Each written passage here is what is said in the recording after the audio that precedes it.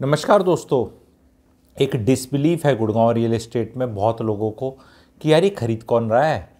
ये मतलब अखबार में न्यूज़ आ जाती, बिक गया, वहाँ भी बिके, इतने बिके, ये है कौन?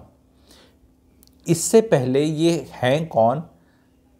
मैं ये एक साइकोलॉजी के एनालिसिस करने चाहूँगा कि इसमें चिड़चिड़ेपन और पीड़ा की क्यों फीलिंग आ रही है? People those who are earning three four lakh rupees a month in Gurgaon which is like very good amount. 3 4 lakh rupees a month is a very high amount. Let's say even husband is earning 2 lakh, wife is earning one and half lakh तो साढ़े तीन लाख हो गए, या दो और दो लाख, चार लाख हो गए, या अकेला ही कोई तीन, साढ़े तीन कर रहा है तो वो इंसान भी तीन, साढ़े तीन लाख कमाने वाला भी, चार लाख कमाने वाला भी एक गुड़गांव में जो ये फ्लैट निकल रहे हैं, खरीद नहीं सकता, क्योंकि भाइयों बहनों तीन करोड़ का लोन लोगे तो पौने तीन लाख ई e जाएगी तो गुजारा कैसे होगा साढ़े तीन लाख तनख्वाह में? टैक्स चला जाएगा, बाकी ई e चली जाएगी। तो मतलब नहीं, वो भी नहीं खरीद पा रहे। तो जब तीन, साढ़े तीन, चार लाख वाले भी नहीं खरीद पा रहे तो एक क्वेश्चन बहुत आता है, जो बहुत लोग लिखते हैं कि जब इतनी तनख्वाह वाले इतने ज़्यादा नहीं हैं, और हम उससे कम वाले हैं या इतनी वाले हैं, हम नहीं खरीद सके तो खरीद कौन रहा है? तो ये पीड़ा का विषय तो है। साइकोलॉजी को एनालाइज करते हैं, आप जो, जिन जिन को पीड़ा है इस सिचुएशन से एंड डिसबिलीफ है तो प्लीज़ टाइप डीपी डीपी मतलब डी इज़ फॉर डिसबिलीफ कि ये हो क्या रहा है भाई साहब और पी मतलब पीड़ा।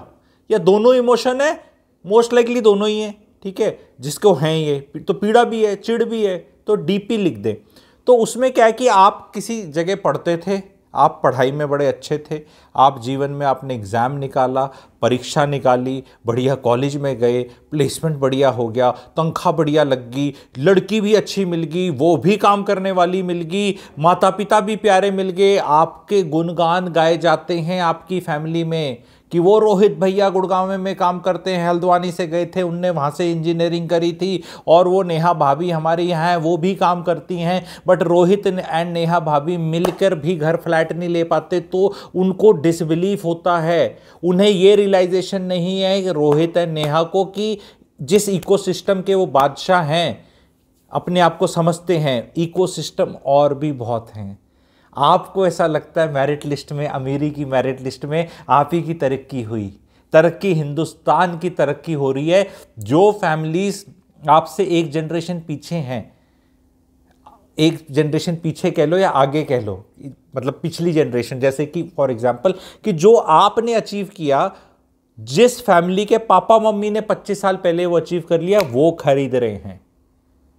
बिन पाँच तरीके से चीज़ खरीदी जा रही है गुड़गांव में, पाँच चीज़ें चाहिए आपको गुड़गांव में खरीदने के लिए प्रॉपर्टी जो अब ये निकल रही हैं, चार, पाँच छः सी आर की।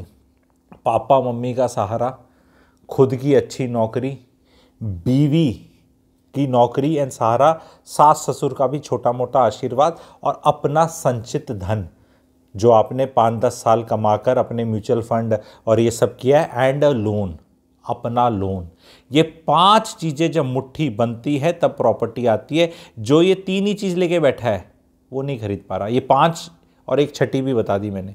तो ये पाँच, छह चीज़ें जो हैं, अच्छी तनख्वाह, अच्छी बीवी की तनख्वाह, पिताजी का सहारा, ससुर जी का सहारा, ये डाउन पेमेंट में पाँच दस परसेंट दे दिए, थोड़ा लोन ले लूँगा, थोड़ा कुछ आपने पाँच दस साल पहले कहीं प्रॉपर्टी ली थी किसी छोटे शहर में या छोटा प्लॉट उसको भी ठिकाने लगा दूँगा। बिना प्रॉपर्टी ठिकाने लगाए कोई सी भी गुड़गांव में अब नहीं खरीद सकते आप। बिना ये चार पाँच चीज़ों का सहारा हुए नहीं ले सकते। लेकिन ये पाँच चीज़ें बहुत लोगों के जीवन में हैं। डेढ़ लाख रुपए की तनख्वाह वाले बच्चे गुड़गांव में प्रॉपर्टी तीन चार सी की आराम से खरीद रहे, पर वो अपने दम पे नहीं खरीद रहे। तो जे, जिनका, जिनकी तनख्वाहें चार लाख की, वो ऐसे देखते हैं। तेरे पास कहाँ से? मेरा पास बाप है। वो दीवार पिक्चर का डायलॉग था, मेरे पास माँ है।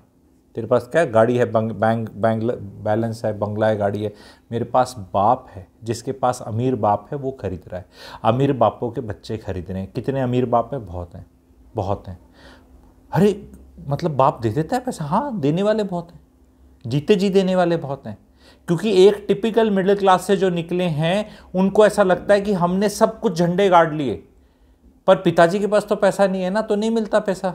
नहीं मिलता तो आपसे नहीं खरीदा जाता। क्योंकि जो ओल्ड मनी है, संचित धन है, जो एसेट्स बढ़ने से धन है, आज के दिन भी दिल्ली में कोई बिल्डर फ्लोर बेचकर राजेंद्र नगर में 200 गज का कहीं भी जितने आपके करोल बाग, पंजाबी बाग, शालीन बाग कुछ बेच के आपको चीज़ें खरीदने को मिल जाती हैं। स्पेशली वहाँ पे जब वो बच्चे की सैलरी का लोन का तड़का लग जाता है और वो इनिशियल डाउन पेमेंट हो जाती है, कुछ वो मिलता है, इस कलर में मिलता है, फिर दूसरे कलर में मिलता है, आज वो कलर दिख नहीं रहे मेरे, शायद ये वाला और ये वाला है। तो उसका मिसमैच कर वो कर कर आके फैमिलीज़ ले रही हैं।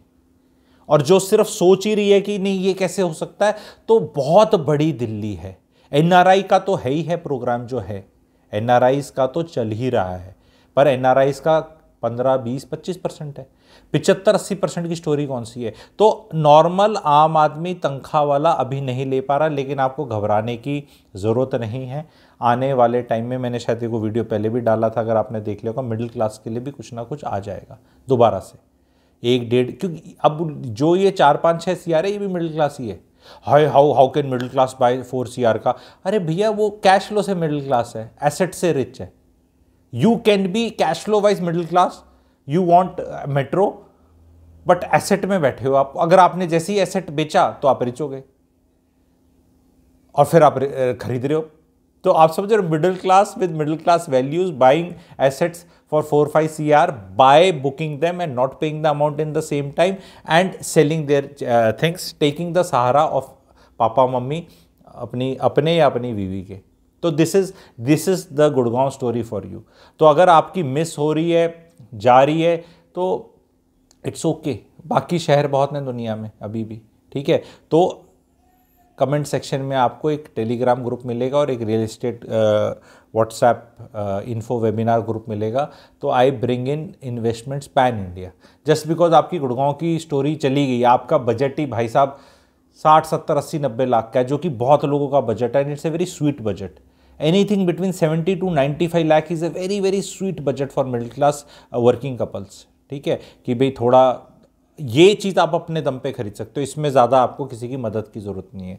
तो ये वाली प्रॉपर्टीज़ भी हैं एंड हेजिंग हो सकती है स्पेशली जो हेजिंग का मतलब क्या है कि आप कहीं पे रेंट पे रहते हैं और आपकी इधर से उधर बदली होती रहती है।